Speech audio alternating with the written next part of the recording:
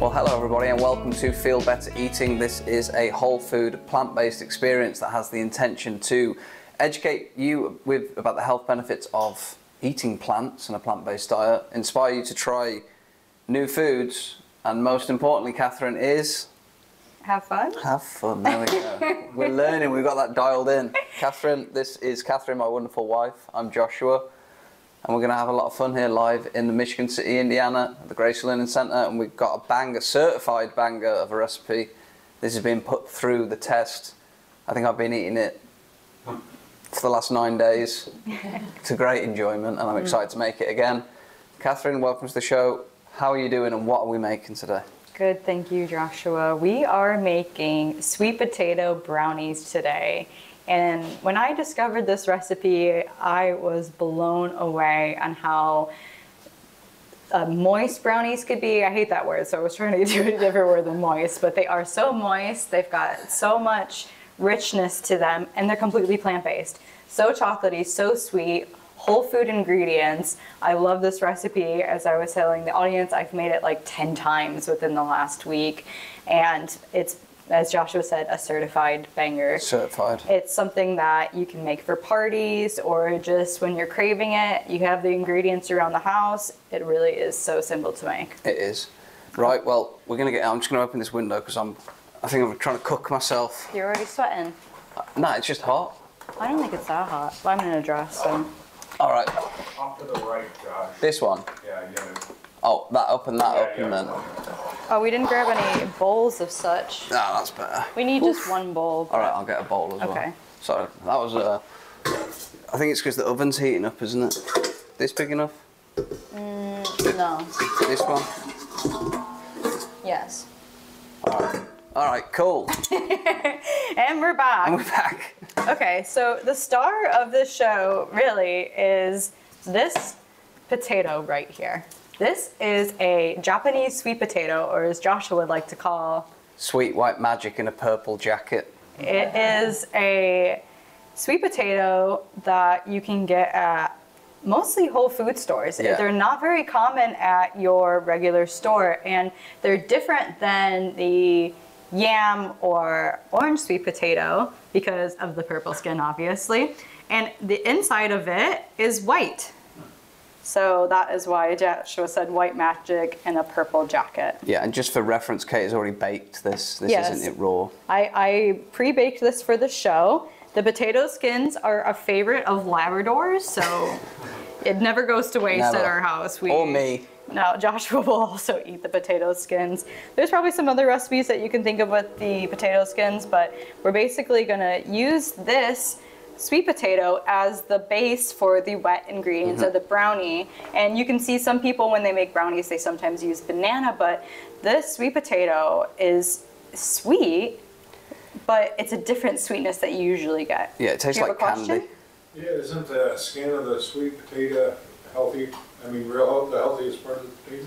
Well, I've heard that before about other potatoes and sweet potatoes, and it definitely has nutritional value. Just if you add it into the brownie, it won't just- blend. It's too thick, so you'll end up with like a. chunks of brownie skin, but you could uh, potato skin in your brownie. But Yeah, if you really you wanted could- to try that, that. you could go for it. And then what I do with these is, especially if they're crispy, you remember the sesame oil? I just put the sesame oil and just dip that in. And because Yeah. this is, I mean, we're not. Well, I don't think we're going to use the whole thing. You could just try the potato by itself. They're so good. It tastes like candy, I think. We could we could chop off They're a little really bit good. to for people They're very addictive. I buy these in bulk now. We get 20 pounds at a time. So the reason that we started getting into these potatoes is because sweet potatoes are a different type of carbohydrate. They're a complex carb that your body processes differently than a yellow or a russet or a red potato. Yeah. Do you remember any information about how our body processes the complex carbs? To just takes longer, so they're more satiating. Mm. So when you eat these brownies, they do have a lot of other health foods in, but this will make it actually fill you up and satiate you. Does anyone want to try it? It will be cold. Is it cold? It's room temperature. Yeah, we can leave that off to the side. I well, baked it this morning. we can add those samples out, but in the main recipe, we're going to start off with a cup of this. And to bake these, how long did you bake that for, Catherine? I baked it at 400 for 30 minutes or maybe more, but you just put the whole thing on a pan or straight on the rack, put some holes in it, and it gets all mushy and And you're in. let it cool, and then you're ready for your potato. I mean, your brownie base, potato base. Next up, we're going to be adding the sweet, sweet maple syrup. Yes, so we're gonna be doing a third of a cup of maple syrup. So we may need our other bottle. So this works as our sweetener for the recipe, and it also adds that liquid to it because you know with other sugars like the cane sugar and the coconut sugar, it's a dry sugar. But with this one, I think it also facilitates that like moist brownie that we're looking for. I Double mean, who's who's brown? Is brownies anyone's favorite dessert? Yeah, hmm. I, I think it's my favorite as well. I love chocolate. It's definitely top chocolate 13. cake, cakey. Like I like brownies more than I like chocolate cake. There's just something about them that's different, Yeah, me too. and that's definitely what's going on here. Something that I love about this recipe as well is that it's kind of off tangent, but that's just how I roll. You can use these same ingredients, omit the cocoa powder, and you can use it as a base for different flavors of cakes. So like I've used this sweet potato base with the maple syrup and the coconut oil and everything that you see here, and I've made a cinnamon raisin cake. And it was so good as It was well. really It good. was- So it this is Very versatile. It's very versatile. This recipe, you just change a few ingredients and you can get completely different flavors. It just works. It does just work. Okay, so as, as you can see now, we're adding more wet ingredients. So when you make, when you're baking, mostly you do the wet ingredients and then the dry ingredients. So all of the wet ingredients we're putting in the food processor straight. And this is almond butter, Yeah. but you can use any of the nut butters, as we always say, very Mm-hmm. interchangeable. Almond will make this sweet though, Is there any more that you can get out of that? Yeah, I can You get probably more. need a little bit more. a more. little bit more. Oh, it's sticky that. At home, I, I sometimes just take almonds straight up that I've pre-soaked and I put them in there. I And then even- blend it. Yeah, and then Yeah. blend it. So you can just, if you don't have nut butter at home or seed butter at home, you can also just use the nuts that you have. Magnificent. Okay. That's in there. I'll look at that later off air. off air. And then our favorite Medjool dates. This is going to help a lot with. So the sweet potatoes actually have a really high amount of fiber, and these dates are going to have fiber in them as well. So we like to add the dates for the extra, a different type of texture, a different flavor of sweetness. I think it adds like a dynamic layer to the. And obviously all the health benefits of dates, which we've touched on in every show. I think they're in every show. Even if we're not using dates, we talk about dates. They're in every sweet show. I feel like that we do. Every um, sweet show, without a doubt. Okay. Another classic for us, vanilla extracts. Right. This is going to be the natural antidepressant. It's going to also add to that real nice flavour that we're looking for in the I just feel like most sweets just- are just eyeball it. Really? risky. That's risky. It's a I like teaspoon. it it's a teaspoon. Oh. That's probably a teaspoon. See, it's as simple as that. If we get it wrong, You just trust. You You- like picture the measuring size in your head, and then just dump. go on then. You get it. You need another spoon, right? yeah. Okay. So the, and then we're gonna do a heaping spoonful of coconut oil. Which is going to help with for brain health, digestion, and it's also going to help Oh, bind. this is or- rock hard. Oh no, this is a. s- You'll get it out. Do you want help? it's just not gonna blend the same. Oh. Was not expecting that, Leopold. Uh, there's another one in there. There's one in there. well, don't use. Don't. No. You don't want the other one. I don't want the other one. Okay, well, as we break this apart, do you want to tell us the history of brownies? I can do my best to remember. All right, we okay. I, I remember. So Do you really? Yeah. I remember. Back in 1893. Way back when. 1893. So brownies. I mean, that's pretty like recent in the human timeline, isn't it? Well, so just over 100 years. There was a woman who was called Catherine Bertha Palmer. who asked a chef for a sweet treat that could fit in a lunchbox that was smaller than a cake but had cake like properties. Mm-hmm. And the chef went on his way, did an experiment, and out popped. This chocolatey walnut. What he called the Palmer brownie after that with an apricot glaze. And so I guess the Palmer House Hotel is this very bougie hotel in Chicago. That and they still serve that brownie recipe to date. Fascinating. There you go. Now you know. 1893. And then after that, people kept making different renditions of it. It came in a cookbook in 1896 from Fannie Farmer. That's her name, Fannie Farmer. And Bertha Palmer. And she. Not related. No. And but she didn't call it a brownie, and I don't think it was chocolatey, so I don't even know why she's in the Wikipedia page. But then other people in Maine tried to say that they came up with the brownie, but the Palmer House was like, no, no, no, It was us. it was us first.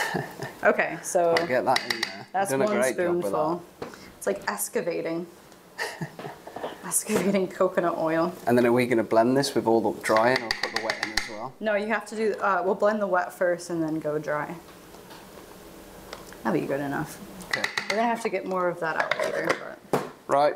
Trusty old mixer, Loudest mixer in the world. the ear shattering mixture. It's really served us well.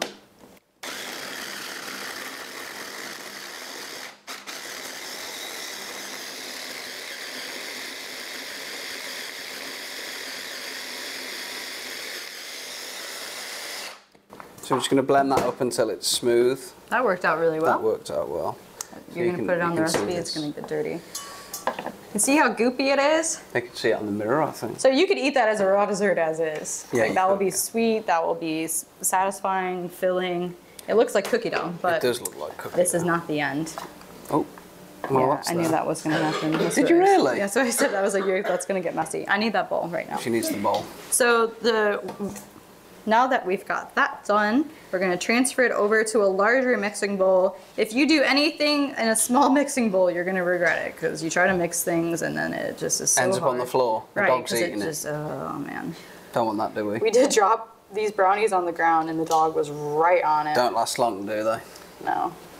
Okay. Right, get that in there. Look at that gooey. Lovely job. That's awesome. It is. It blended really well, that. I'm surprised considering the coconut oil was rock Yeah, hard. yeah. Maybe because the potato was still slightly warm. I don't know. It's a good job, though. Right, so that's the first part of the brownie mix. Mm-hmm. It Yeah. does smell, I don't know if you can smell that, but it smells really good. I think you put the perfect amount of vanilla in. Oh. Not too much, not too little. Right. This food processor sometimes just really holds on to the material. Yeah. You'll have to give that a good off-camera lick later. is this done for now? We're using this again? Oh yeah, we are. Yeah, I can use it again. Um, should I try to like? I'll do that. Okay. You start making the next part. So now is the dry ingredient time. We're gonna start with oat flour. You can use almond flour here or coconut flour. I'm not quite sure how those would taste because I've only used almond flour so far, but I can imagine it ends up relatively the same. Yeah. And so I need. What? what do you need? Cup? Do they? Do they have another third cup over there, or just? Uh, just use that one. I know it's got maple syrup in it, so all the flour will stick to it. Uh-huh. Yeah. Or use that and just eyeball a third of a cup. Go on, We'll eyeball two thirds of a cup. Believe I did it earlier, actually. I got like do two it. thirds of a cup of oats, and it worked out. bit more. See, that's about half. flour there, was that not? Yeah, there's another one. Uh, there's this one. There's here. plenty. Go on. Okay, because I did buy the oat flour too. Oh, Yeah, we've got the Oat. that will come in handy in the flour, next yeah. time. Yeah, because we're this Thank is basically Make empty. sure I did the right thing on that. Oh, Oh, no, no, you did very great, proactive. thank you. Pam. You're always amazing. So that's what I love about this recipe as well, is because you're using the sweet potato carb in it, you don't have to use as much flour. A lot of baking recipes, you'll find it needs like a A cup lot, or yeah. a cup and a half of flour, and it's a lot of flour. And so this requires less flour, and that's what I love about this recipe as well. Cacao powder So we're gonna do a half a cup of cacao powder. for the cho- Oh, that's an interesting rip. wonder who did that. Looks like a mouse has gone at it. Probably was me. Really? It's very unlike you. It almost looks like they wanted to open it, but then they changed their mind. I don't know what's going on with It's okay. It's okay. It's better that it's a small hole because then it doesn't get everywhere. It's just weird how it's. Anyway, Whatever. how much of that are we putting in? Organic cocoa powder. Nice. Nice. It's got fiber, magnesium, and vitamin C. We're doing a half a cup of this. Yep. I don't want to get it everywhere, Does it help? we'll see what happens. If there's a little bit extra, it's not gonna. Yep, that's probably good. Okay, half of a cup. Lovely job. And then we're gonna need a teaspoon of baking powder. See how I have got this on lock? Yeah, I've that? made this recipe way too many times. Okay, where's... Top shelf. What's the baking powder gonna do? it's gonna be your science experimental part of it. Well, it's gonna help it rise. right? yeah, the brownies don't rise that much to be honest, but it does help it become like a cakey. And then half a cup of chopped pecans, which I don't think I'll chop them now. Well, we have to put a little bit of sea salt in it. Yeah. Oh, they are chopped. They are. Do you want it more chopped than that? Hmm. Yeah, a little bit. What about if I put them in here and blend them? That would make sense, wouldn't it? Well, then it will stick to the sides, wouldn't it? it it's not that hard to chop. I think that's all the dry ingredients. That about right? Yeah. So the adding the pecans, or you can even add walnuts. that's Cashews. cashews. Adding the chopped nuts is optional, but I guess in the original brownie recipe, walnuts were the one of the stars of the shows. We like the walnuts in it for the brain health, but pecans are also very healthy as a nut. They contain a wide variety of Goodness. nutrients. And so, but I always like to add the extra chocolate chips. I don't like to skip out on the chocolate chips. Because when you get that soft chocolate chip in the brownie, No one's complaining about that. it just makes such a big difference. Uh, well, that's probably too many, but that's fine because we they? Well, we only can take need. half. Take as many as you want. I think we only need about a fourth of a cup of those. Really? It says half a cup on there. Does it really? I've been deceived. Hmm. Go on. Well, just put it all in then. That's fine. Really? Yeah. Just bang them in. Well, do you want to see how much it is amounts to? That was professional. Okay. Done that before. Have you? Look at that strategy. You won't find that top chef or anything. Why? like What's that. what's wrong with that? Is that not? I think that's pretty creative. I think it's. I There you go. That's like a nearly. That's basically three quarters of a cup. so I think you did great. maybe a bit too many, but It's fine. we'll be fine. Okay. So then, I don't know why it's only a quarter cup of chocolate cup chips then, because yeah, we're gonna make that a heaping one. There we go. Whoa! I love the Keep them chocolate. in. Get them in. Chocolate is not bad for you. Just chocolates The right chocolate covered in yeah sugar are the ones that are bad. Yeah. Okay. So this actually requires quite a bit of vigorous mixing because cocoa powder, I don't know what it is about it, like its scientific properties, but you know, have you like anyone that's cooked with cocoa powder before, do you realize when it's like it's so dry and it like bursts up in like smokes of cocoa powder in your face and it it really struggles to adhere to the wet ingredients when you want it to. I don't know what it is about it, but it's fascinating. Like do you smell it right now? It's in the mm. air. Smells nice, I think. You could just eat that as well, couldn't you? Raw, probably. Yeah, you could. I'm not quite sure if eating raw oat flour is okay. I have. I was actually thinking about that before the show Were because really? I do lick it. in your mind? I, I lick the extras off the bowls and stuff like that, It's and I'm fine. fine. But usually you cook oats, so Yeah, but you could definitely be fine. Yeah. As long as you're not eating like a pound, a cup a day or something. cup a day. Cup of oats, cup of dried. A cup of brownie powder a day keeps the demons away. That looks good. That. Yeah. See how it's all coming together into Lovely this job. goopy, mushy mess. Lovely, lovely, lovely job. The reason that we bake, I like to bake this recipe instead of keeping it raw is because it gets a nice crisp on it in the oven. Like when you're making brownies, I always like the corner pieces. you do, don't you? Because you got the, the hardness of it, the the like upper layer, you know what I mean, and then Yeah. the soft insides. And Anna knows what I'm talking about. Yeah, yeah, yeah, Yeah, exactly. yeah. Yeah. yeah, yeah, Right. So what we're gonna do with that, Catherine? I'll get you. Uh, okay, we should clear- probably I'll clear you some stuff over. space. Yeah. I'll get you some space. We gotta share a sweet potato with you. We'll do it after. though. Alright. Okay, so you obviously can just put this in a regular cake pan, square pan, depending how much you make and how much big of a size pan you need. But what I've really enjoyed doing recently is making them into brownie bites, so little bite-sized pieces instead. And that way, they're like They cook faster, They- less waiting. they cook faster, And and you get that crust along all four sides Yeah. of it, which I really like, because we've made it in our little cast iron, and it's just it's just not the same. It's not the same. So you don't even need like parchment paper. It cooks pretty. It cooks pretty good. So you're just gonna make those into balls. Yeah. So I just form them. I usually use a tablespoon size. Some of them end up a little bit bigger, some a bit smaller, but it's definitely gonna be chocolate. Look at all those chocolate chips. Oh my goodness. Well, make do like six, and then we can just do the rest after. You sure? Yeah, yeah. Okay.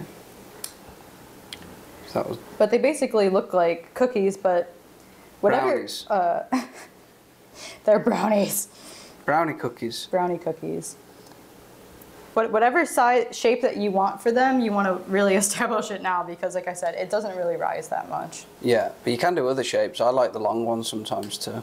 What do you mean? The long brownies. You want them like in bars instead of circles? No, I want circles today, but I'm saying you can do bars. Hmm.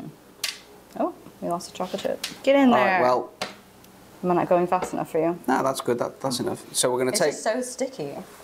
just do six total. Yeah. You got ice cream scooper. Yeah, an ice cream scoop. That would help, also would yeah. work too. with a little clicker thing on it. My tablespoon at home is kind of like shaped like an ice cream scoop, which is really nice. And then we're gonna bake these for how long? About ten minutes. No, I usually do about 20. You could do 20 to 30 depending on your oven. Yeah, I guess yeah. All right. Because I'll you'll, you'll know once you, the, the, the outside will start to firm, and I'll then get that's these when you know when to take it out. We'll finish that in a minute. Okay. Right, next we're gonna make the frosting to go on top. Back with the blender. I'm not going to worry about cleaning the blender. No. Because it's all just sweet. It's the same flavors. It doesn't matter. It's the same. We're gonna start off with Dates. Wow. Who's surprised? what's better than dates in the brownie? More dates on the top. Dates in Okay. uh, two cups, right? So dates is how we get our frosting. It's just I don't know how else to get it really to be honest. it's just such a gooey consistency that comes out like frosting. I've made the brownies with an avocado frosting before, like we said, but the avocados, if you don't keep it in, if you don't keep them in the fridge, the frosting will go bad. Yeah, it goes bad. Yeah. So we just shortcutted it and we've made it straight date up date. Because what is regular frosting besides just sugar anyways, isn't it? It's literally just mainly sugar. Yeah. sugars. Sugar and some sort of milk. So that's what this is. Sugar with some sort of milk. And I'll go back into the coconut oil. Back back into the excavating. Back into the. Know, This has been a, an unexpected obstacle of this Right. show. because oh, if it was sometimes, you know, a lot of people feel like they need to keep their coconut oil in the fridge, but it's not completely necessary. It doesn't How much do we need? necessarily go bad. A heaping spoonful again. Oh, is that all? Yeah. Could you melt it in the microwave or no? Ah, well, I guess Mm. we could, but I don't know if this is plastic. This is, I don't know if this that's microwave safe. That I don't trust my. you kind of have to just scrape the sides. Go on, you do it. Okay. It's too much for me. They're too nuanced of a thing. So I'll start off with the next ingredient. We're going to put this is coconut milk. You can use other plant milks. We just really like the coconut milk. It's thick. Yeah, it's thick. It's creamy. It's Um, organic. A whole cup, right? well, it is a whole cup, but honestly, here you just try a half a cup. And then we can add to it if, Yeah. if necessary. Because I've been experimenting with that. the frosting recipe. Beautiful. Sometimes I've been ending up with too much frosting, but then some people think, oh, there's never too much frosting. So then I'm like, ah. So it, you'll find out how much you make here, and if you have extra, it's really not a bad thing because it's actually just a great dessert on its own. Yeah, it's very rich. You like it on its own. I don't. I like it on bananas. Yeah, You it's can good on make that bananas. Good on apples. apples, It's bananas. kind of like a Nutella spread, kind of, but Kind just of, not with the hazelnut. So, and then we're gonna add more cocoa powder to get that. Oh, We did it. it was a tight We did it. Tight fit, we made it. Easy. Easy peasy. Right. Get that in there. You're good at that, you. Look at hidden talent. I I have a scraping skill, I guess. It's kind of The scrape. it's a very niche skill. We've got a little bit extra. A little bit extra in there. Get that blended up. Get in there. Shout out to Embe. Want me to do it? That's okay. I'm on this side now. Yeah, I know, We you've been- switched you've been promoted. Is this the promotion side. I've been moved down the bench. Okay. It's very sticky over here. Things got out of hand. Okay, so we're gonna turbo launch this.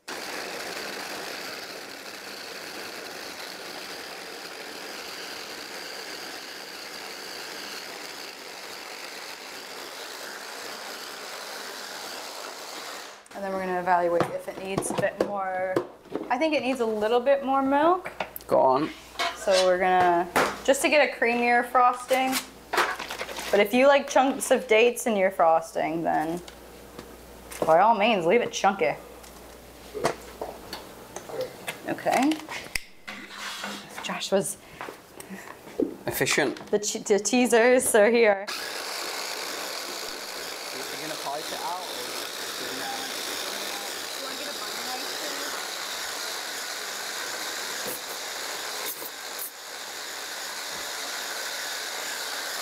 It looks like a charcuterie knife or something. Nice little cute one. Oh, look at So that. look at that, chocolate frosting. You couldn't tell that any different than chocolate frosting you get from the store, I think. I didn't know you could buy chocolate frosting from a store. What are you talking hmm. about? I've never bought chocolate frosting from a store. Really? I haven't. That's how they sell it. What, in bags? Well, they they sell it. Yeah, they sell it. It's already in a dish made up, ready to go. Yeah. and There you go. it out. They Well- make it shelf. Well, the reason, I mean, the fact that it's shelf stable just makes Worrying. makes it a little. That's why bit I've never bought it. Yeah. Well, these are the brownies out the oven. Look at that. Little bites, and so you don't even technically need to put frosting on them. We've tried them without frosting, and Yeah. they're really good as well. So these ones that we made at home today do not have extra chopped pecans or walnuts in it. It just has ground up almonds in it and uh, chocolate chips. Okay, so you know, use your discretion here with how much frosting you you enjoy, but we're gonna get this caked up. Lovely job. Oh my gosh. Look at that. I like it when you do the little peaks as well, yeah. I just think that Oh, lovely. as a dessert, it's just perfect. Joshua shoves the whole thing in his mouth, but that's definitely two bites for me. You do. You just gobble them up. Because then you get more in in the same amount of time. They don't last long, these. You've got to be No. real careful. But you don't really, because, again, And all understandable ingredients. Yes. They're all very understandable ingredients. And they're honestly so high in fiber that it may encourage you to go to the bathroom. They are Which is fiber. pretty shocking because you're like, oh my gosh, how could something so delicious make me have to go potty with fiber? But any of those people that get polyp scans still, not that I want to be talking about that right now, but it's good. It's good fiber. We've gone there, haven't we? Uh, do you want a plate or something to present these on? A white plate? There just isn't one. Sure. The only thing they've got is the. Oh, They don't have a flat plate. I guess that would be okay, won't? Like that. do you want to do the presentation? Since Sure. you're on that side, you're on the presentation Am side. I? I've the- been promoted. So the promotion works either way. I thought I'd been demoted. Do you see how creamy that frosting is? Oh gosh, I hope you guys are excited. Yeah, there's no flat plates, honey. There's That's o- okay, that's fine. There's only these, but You'll just have to hold the, yeah, the tray up then. wonderful. So Look this is probably that. like a little heavy on the frosting, but That's good, that's whatever. good. Wait, I, I didn't finish frosting that last mm. little guy. You rush Let me, me sometimes. let me. You rush me sometimes. you- Russians. Okay. It's just I thought it was finished. That's all. Okay. Beautiful. Oh no, my dress is sticking in the syrup. Oh, there you go, Kevin.